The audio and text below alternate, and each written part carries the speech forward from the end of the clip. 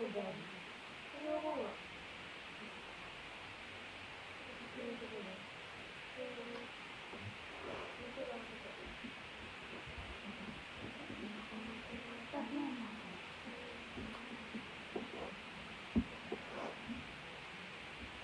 Ayan.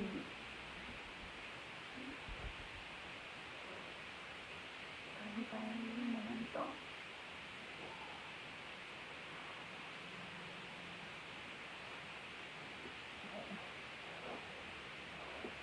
Talaga mga silamarin sa mga ganyan. Ayoko umiyak. Ayoko. Ayoko ganito ako, pero makikipagkwentuhan na ako sa inyo. Simula, simula nung nangyari to, hindi ko pa nalabas lahat ng sakit-sakit na inatan ako. Pero kagabi, hindi ako halos makatulog. Na parang inuutik sa dibdib ko. Ang gusto ko na magsalita. Okay. Alam ko, simula. Alam ko hindi gusto niya ganit yung ginagawa ko sa ngayon. Pero once na wala na siya. Kaya dito ako ngayon sa harap niyo. Nagsasalita ako.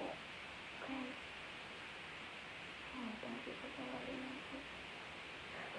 Siguro yung tipo na kahit na dinudurog ka rin ng tao, ayaw na magsalita. Ayaw na, ayaw na pagtanggol namin siya. Ayaw namin na ayaw niya na madamay kami. Sa ng problema niya, kilimsin niya lang.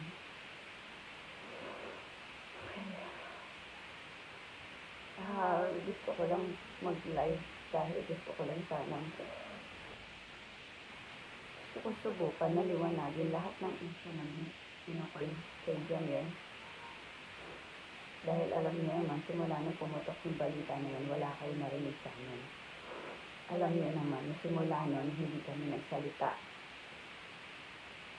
Kahit na gano'ng pandudurog pa yung pinukol ng lahat sa amin, hindi kami nagsalita. Dahil naniniwala kami sa katarungan.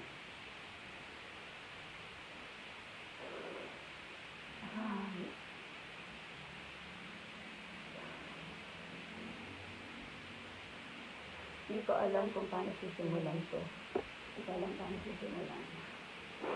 Kaya gusto ko lang malaman ng lahat. Simula, simula, simula sa pool. Alam na kung gano'n kabait si Jamil. Alam na kung paano na naging mapagmahal sa inyong lahat. Hindi ko alam. Gusto ko lang po linawin lahat.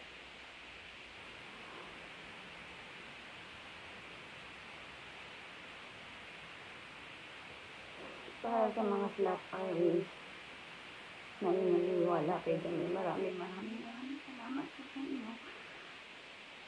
Alam ko lahat pero kilala niyo kung ano yung totoo.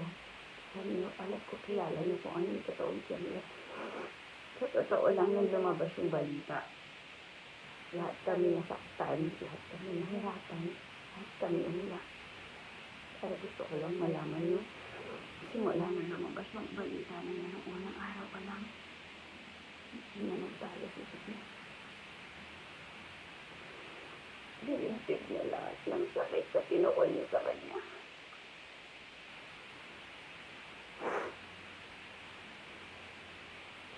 Totoo lang. Hindi niya na inintindi yung mga pinupukol sa kanya, yung mga binibintan sa kanya, wala sa pakialam na doon. Hindi niya lang po talaga matanggap na yung mga taong minahal niya. Ito ba yung gumawa sa kanya ng ganun? Alam niyo kung sino kayo. Mahal na mahal kayo ni Jamil. Pero ginawa niyo to sa kanya.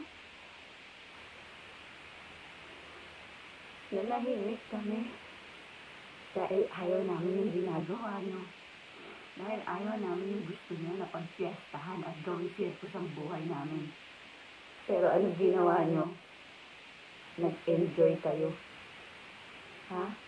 Nagpakawala kayo ng mga fake news.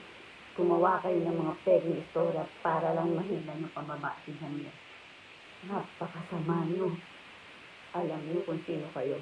Hindi ko kayo babanggitin pero alam niyo na kung sino kayo. Ang hindi ko matanggap hanggang sa huling hininga ni Jamil, nagpalabas pa rin kayo ng fake news. Anong klaseng mga tao kayo? Anong klaseng mga tao? Tinuring kayong kapatid. Jamil, mahal na mahal niya kayo. Pero dahil sa pera at Egypt, ginawa niyo lahat sa kanya. Alam ko hindi nagugustuhan ni ang ginagawa ko. Kung meron makaisa sa ang tao na ayaw na lagi ako naglalabas ng galit ng rant sa social media si yun. Pero wala na siya.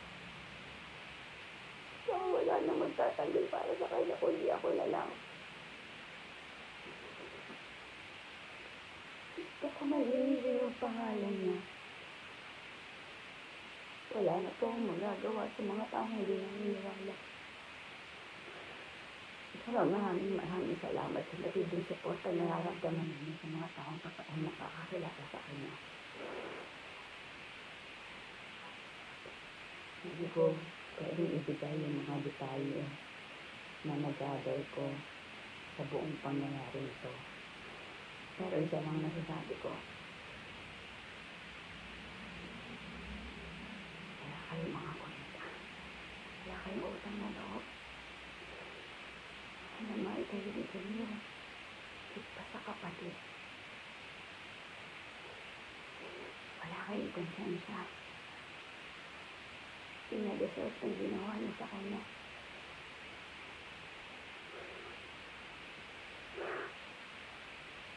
Buong buhay niyang binahal lang yung banda. Minahal na lang kayo.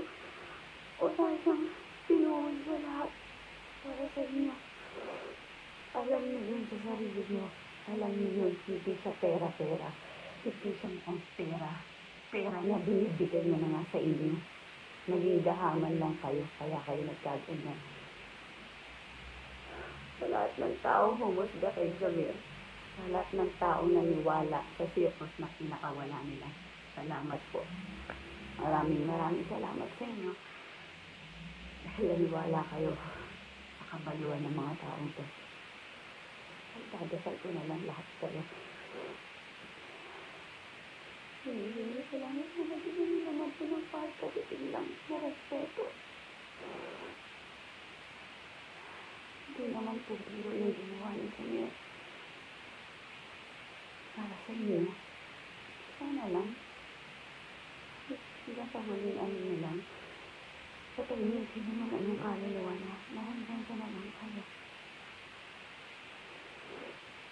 Hindi po ako intindihin, kaya ko to. Nagsalita lang ako dahil ito yung matagal ko nang gustong gawin at ayaw ni Jamil dahil iniintindi niya pa rin kayo. Iniintindi niya pa rin kayo kahit na napakarami kagaguhang pinagagawa niya sa kanya. Gusto niya pa rin kayong protektahan.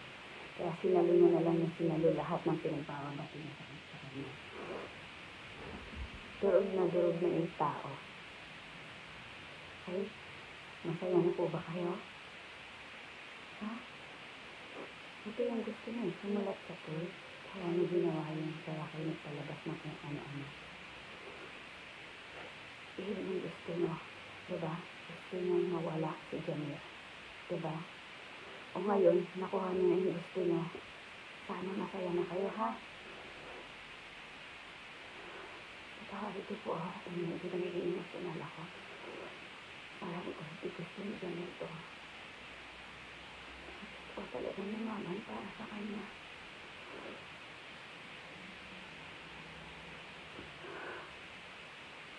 Hindi ko alam kung paano tatapos ito. Ah, basta, lang po yung gusto ko sabihin sa lahat, lahat na lumabas na issue sa kanya. Alam ko, nagtatanong kayo. Alam ko marami nagtatanong bakit hindi kami nagsasalita. Bakit hindi kami nagre-react? Bakit ang tahimik lang nila? Guilty ba sila? Lahat yun, dinibdib namin lahat yun. Kaya nga nagpakamatay yung asawa ko eh, dahil dito sa ginawa niyo eh. Dinibdib namin lahat yun, dahil umaasa kami, wala naman ang hostilya. Sa lahat na nakakakilala kay Janet, alam niyo yung totoo. Maraming, maraming nalaman sa lahat ng naniwala. Sa lahat ng hindi bumitaw. Nang namin kayo. At yun sa mga nagpasakot sa kademonyohan.